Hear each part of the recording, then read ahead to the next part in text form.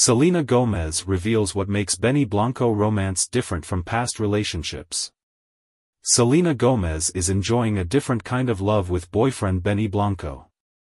The Only Murders in the Building actress, 31, opened up about her relationship with the music producer, 35, during a chat with Apple Music One Zane Lowe about her latest single, Love On, which debuted Thursday, February 22. Without getting into too much detail, I think it's just really important to meet someone that respects you, Gomez said of how Blanco differs from some of her former flames. And I think it's really nice to also lean on someone who understands the world that I live in.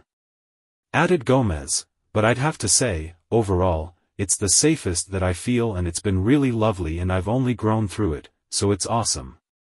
Gomez, who previously dated Justin Bieber and The Weeknd, said that her happiness is on full display in Love On.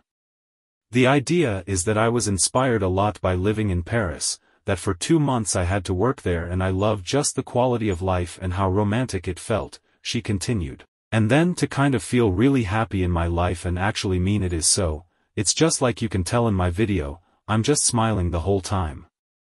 It's such a good feeling. She added that it helped to be in a city that has become such a symbol of love, it's really, really great, Gomez said. No, I was absolutely able to live life freely and I felt, even though I was single then I felt like it was one of the most romantic cities and just everything from walking down the street to a little cafe, it can be really sweet. The Come and Get It singer went public with Blanco in December 2023, swooning over him in the comments of an Instagram post about her relationship status. He is my absolute everything in my heart, she wrote at the time. He has been the best thing that's ever happened to me. The end. He's still better than anyone I've been with. Facts.